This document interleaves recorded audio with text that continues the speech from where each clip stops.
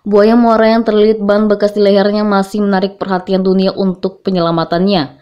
Terakhir, seorang pemerhati reptil asal Australia, Matt Wright, sudah dua kali datang ke Palu dengan misi penyelamatan buaya.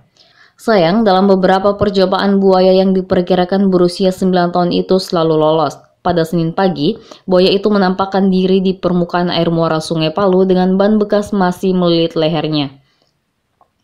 Belum berhasilnya penyelamatan itu kemudian menarik sejumlah pemerhati reptil lain untuk bergabung.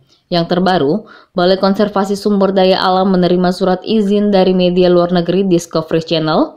Namun izin itu hanya dalam bentuk pembuatan film dokumenter dengan menampilkan seorang pemerhati satwa liar Forest Galante.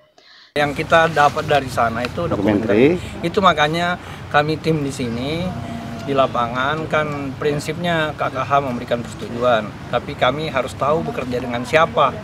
Makanya nanti akan akan ada mungkin koordinasi lagi di sini kalau mereka tim sampai di sini kan.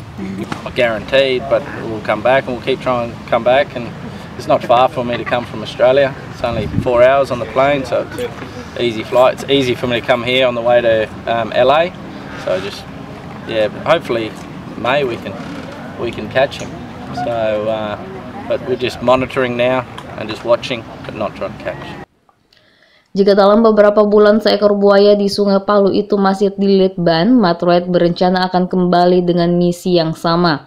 Namun Matt akan menggunakan teknologi dalam menangkap dan membebaskan buaya malang itu dari lilitan ban bekas. Aldrim Telara Kompas TV Palu, Sulawesi Tengah.